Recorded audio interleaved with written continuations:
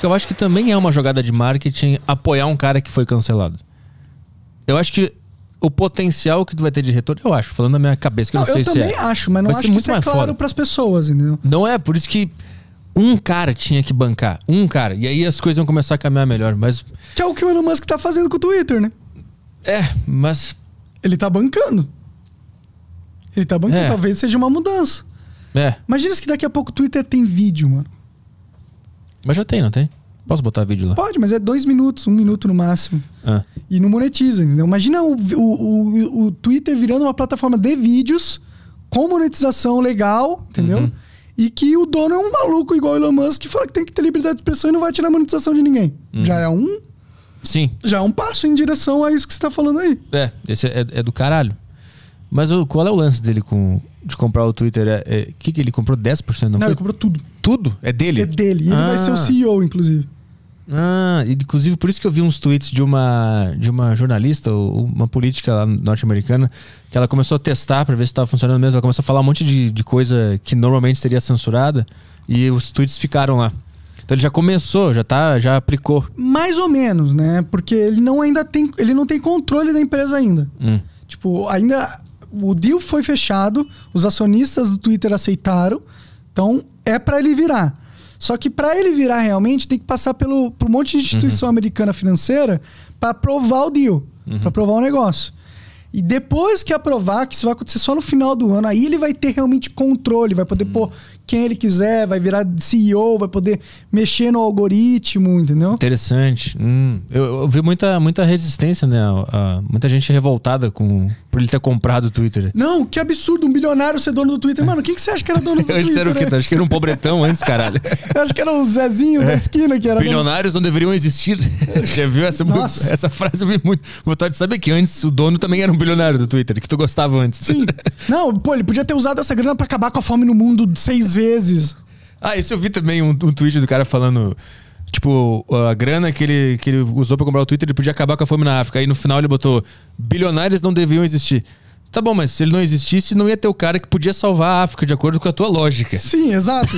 Então- E, e não dá, pra- não é assim, não é fácil. Não é só jogar 50 bilhões na África que você salva a África. Não é, não é isso. A vida não é simples assim. Mano, tem um negócio que ele falou que. Tá, me diz o que, que eu tenho. O que, que a gente vai comprar com, esse, com essa grana que eu dou. Não tem esse negócio? Tem, tem, tem. E aí ninguém falou nada. Ele falou pra ONU, falou, ONU, se você me disser que, é que a- o número era 6 bilhões de dólares, acabava com a fome no mundo. Aham. Aí ele falou, ONU, se você conseguir provar pra mim que com 6 bilhões de dólares eu vou acabar com a fome no mundo, se mostrar aonde vai esse dinheiro e como vai ser feito, tudo bonitinho, eu dou 6 bilhões de dólares. Nada. Nada, porque não é, não é, não é dinheiro. Não é para acabar com a fome. Tipo, pensa. Não é só ter dinheiro, não é só comprar um monte de alimento, tá ligado? Como que esse alimento chega nas pessoas? Como que chega todo dia nas pessoas? Como que chega nas pessoas que estão numa vila, na, numa aldeia na África, sem internet, sem luz, sem saneamento, sem estrada, sem porra nenhuma? Como essa comida chega lá todo dia pra esses caras? Não é só comprar um monte de comida que tá pronto, que é isso. Você tem que fazer todo um sistema de distribuição fudido, que é só impossível. Mas dentro desses 6 bilhões não tá essa estrutura toda também? Comprar uns trem, uns negócios pra mandar Não pra tá? lá? Não tá. Não tá. tem como. 6 bilhões é só de comida mesmo. Eu- Fora a infraestrutura. Eu acho que é essa lógica que eles fazem. Aham. Tipo, com 6 bilhões dá pra comprar comida pra todo mundo. Tá.